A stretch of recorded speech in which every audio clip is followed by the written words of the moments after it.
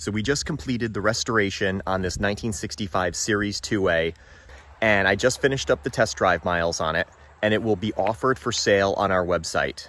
This vehicle has been restored to our version 4 specs. So what does that mean? What are those specs? So let me just share my design philosophy with you about how I build these Land Rovers. So my goal is always to build vehicles that are as close to original aesthetically, but improved mechanically. And this doesn't mean adding a 400 horsepower Chevy V8 and enormous tires. It just means subtle improvements to make the vehicle operate better on today's roads, but we're not going to leave any original parts that have known design flaws.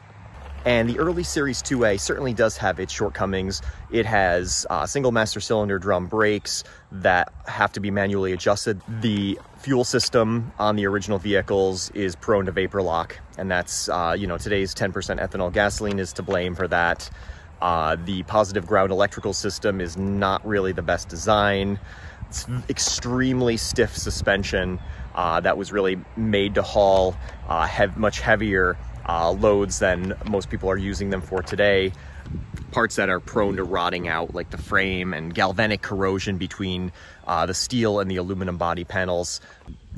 And of course with the transmission, first and second gear are not synchronized. So that means you need to double clutch and most people don't know how to do this and really don't want to take the time to learn on a very expensive vehicle. So we correct the problems on these Series 2As not by reinventing the wheel and putting in uh, completely out of place drivetrains. I mean, we just take Series 3 parts and fit them to the Series 2A or Defender parts, parts that Land Rover already improved. We just fit them to the Series 2A. There's some cases where we need to use completely modern parts, like for example, electronic fuel injection. 10% ethanol gasoline did not exist when these vehicles were in use. Now it's really a necessity to add electronic fuel injection to make these vehicles run properly. So the result is a vehicle that looks original, but mechanically, I like to say they're like three quarter scale Defenders because they're uh, six inches narrower track width, uh, five inch shorter wheelbase, 15 inches shorter overall. So the vehicle is a little bit smaller than a Defender, but as you'll see, we use a lot of Defender parts in our restorations. So first of all, let's talk about the engine. So I like to rebuild the original engine that came in the Land Rover if possible. I want to keep that engine with the Land Rover. I don't want to split those up and just update it so that it's viable on today's roads. So these engines were basically available all the way up to the early 90s in Defenders. So in the, the early 90s spec Defenders, you could get a 2.5 liter petrol engine. These are two and a quarter but you can get a 2.5 liter petrol engine. So we're putting in a later 2.5 liter Defender cam, hardened valve seats, uh, even like the valve guides, we're putting in the later style with the umbrella seals. We're, we're putting in a 75 amp alternator from a Defender. Uh, we're really trying to build the engine to Defender specs and then just taking it a little bit beyond by going with electronic fuel injection. So with fuel injection, the computer does all the thinking for you. You don't need to fiddle with the carburetor. You don't even need to pull the choke. It does everything for you to keep the engine running in its optimum air-fuel ratio. So the computer is making adjustments every second to keep this engine running the best it can. So this means on really hot days, it won't vapor lock, it'll run fine. On really cold days, it'll actually start up. I've started these up in zero degree weather. All right, so it is about two degrees this morning. Here we go. Let's try this. And it starts right up.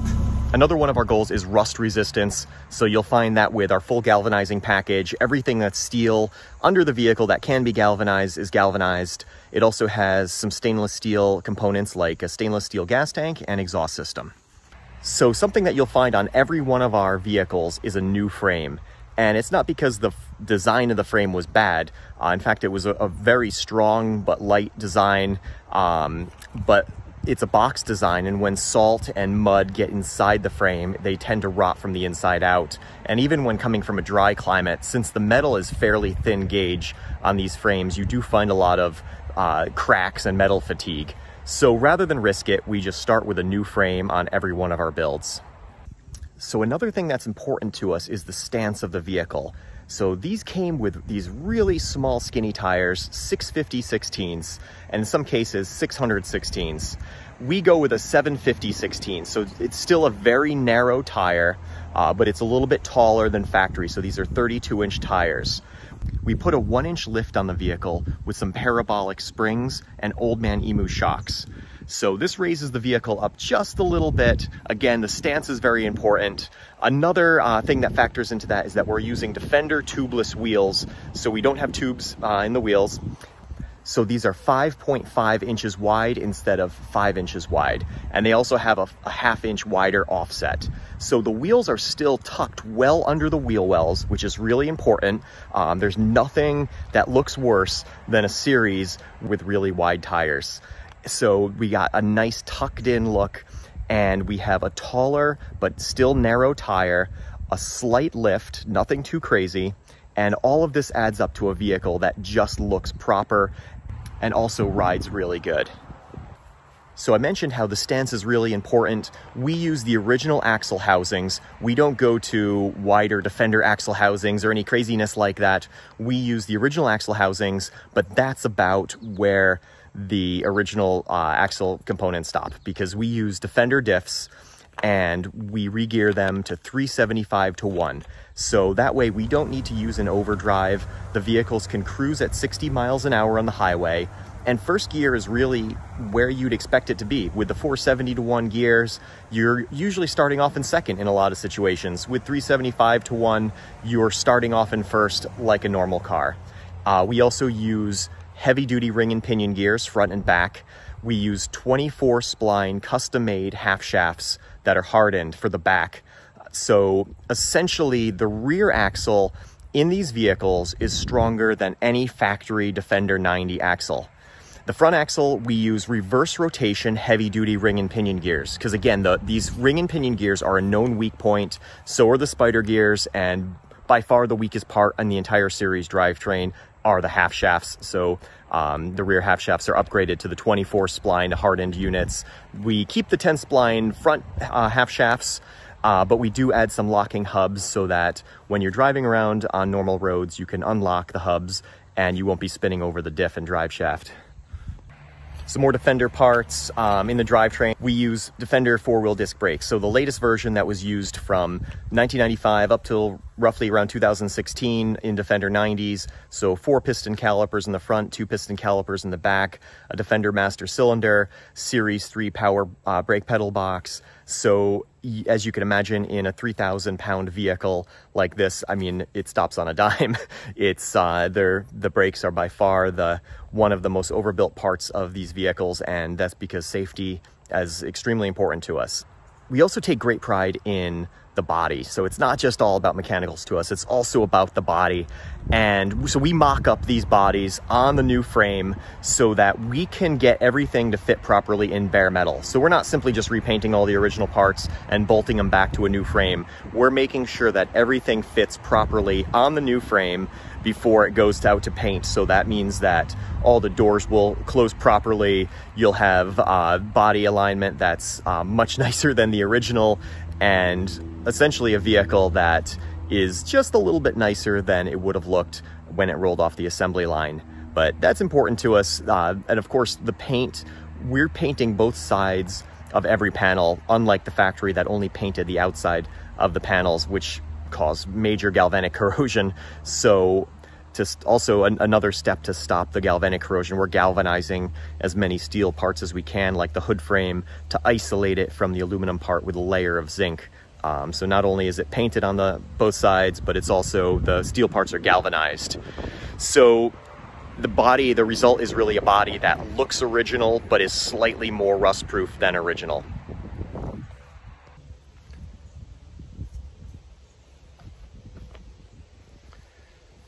So finally, the interior of the vehicle is very important to us.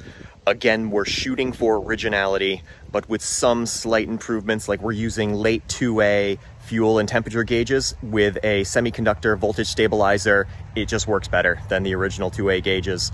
Uh, it's a very slight aesthetic change, but a major improvement in reliability and, and accuracy. So uh, we, we are rebuilding the original speedometer to the vehicle. On, in this case, we returned the original speedometer to zero, and I now have 300, roughly 300 test drive miles on it. So for the interior, we keep the original seat upholstery, which is a vinyl called Elephant Hide, which is again really iconic. Um, also the iconic banjo steering wheel is really important to us. Uh, and the, the, the, result is really an interior that is nicer than original. The paint finishes on the inside are done just to the same standards as the outside because that is your interior. So the result is really a vehicle that's meant to be driven. It's not meant just to go to car shows. You know, we're going for aesthetically beautiful vehicles that are also drive as good as they look and they're meant to be driven. These these vehicles are really meant to be taken out on back roads and and driven and used and the drivetrain really speaks to that intended purpose. The, the, the amount of time and effort we've, we've gone into in getting these drivetrains um, improved to the best of our abilities really tells you that this is a vehicle that's meant to be driven. So what are the pros and cons of buying a Land Rover like this that's already restored versus restoring one? So first of all, if you restore a Land Rover with us, you get to pick your color. There's six different colors that we offer that are all original series colors. On a vehicle that we're selling, we're going to restore it to the original color that's stated on the heritage certificate. Another pro of buying a completed one on our website is that the vehicle is available immediately. You can simply purchase the vehicle and you can ship it back to your home and start driving it immediately. Um, a benefit of doing a restoration, the payments are broken up into 12 payments minus a $20,000 deposit. So it's a lot more palatable to own a restored Series 2A like this over uh, more payments rather than purchase one outright. If you already have a Land Rover that's in need of restoration, you could send that to us to be restored. Or if you want to buy the vehicle that's already completed, you could trade that vehicle into us and we could use it as a core for another restoration. So this vehicle is ready for immediate sale on our website. It's 100% ready to go. Just simply get in, turn the key, and drive it.